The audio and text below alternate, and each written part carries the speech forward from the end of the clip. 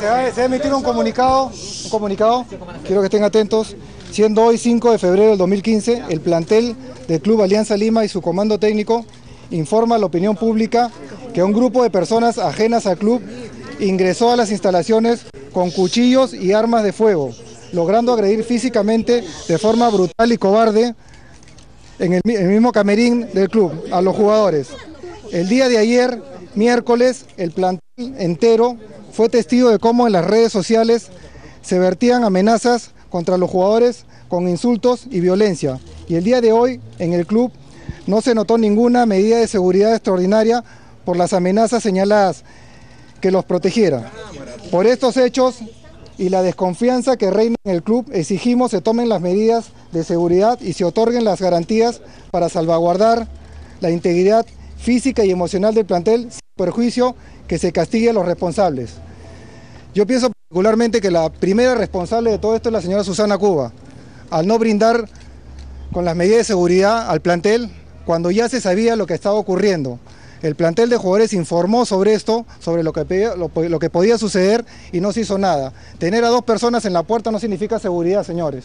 Hay que, hay que, hay que salvaguardar la integridad física de los jugadores.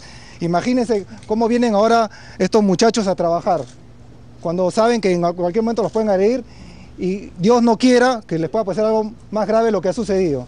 Así que exigimos que se tomen las medidas correspondientes, que se sancionen a los, cor- a los responsables directamente, pero yo particularmente eh, responsabilizo a la señora Susana Cuba no solamente por este acto, sino porque ya en reiteradas oportunidades viene cometiendo actos que van en contra del mismo club y del mismo plantel. Así que exigimos, o yo particularmente le digo a la señora Susana Cuba que dé un paso al costado, porque dirigir Alianza Lima no, no lo puede hacer cualquiera. Y ha demostrado innumerables veces que no ha podido dirigir a un club tan grande como Alianza Lima. Mantiene una deuda de 800 mil dólares con futbolistas. Supuestamente, no supuestamente, a ella le encargaron eh, reconstruir, reestructurar al club y lo que ha hecho es mantener, eh, eh, acrecentar las deudas que se tiene. Por estos y otros motivos hay una carta que le han mandado a los futbolistas amenazándolos con el 50% de multa eh, en la medida que jueguen o no jueguen bien. Esto no se puede admitir, vamos a ir a las instancias correspondientes, a la federación, a la asociación, eh, a donde se tenga que ir para que esta señora no siga acá en el club. Yo creo, pienso que, que Alianza Lima se merece otra, otra, otra clase de administración.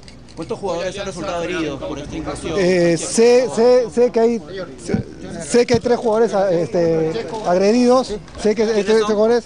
Está Cedrón, está, me parece Araujo y hay otro más que no recuerdo, pero creo que esto no, no debe volver a suceder y tiene que caer. Que tenga que ¿Se ha presentado una denuncia correspondiente? ¿Se ha presentado una denuncia? ¿Se ha presentado una denuncia Se correspondiente? va a presentar en estos momentos.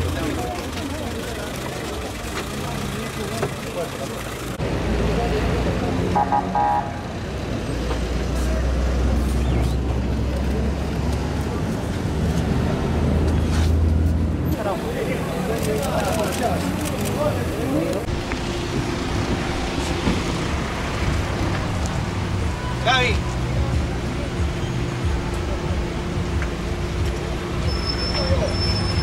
Gaby.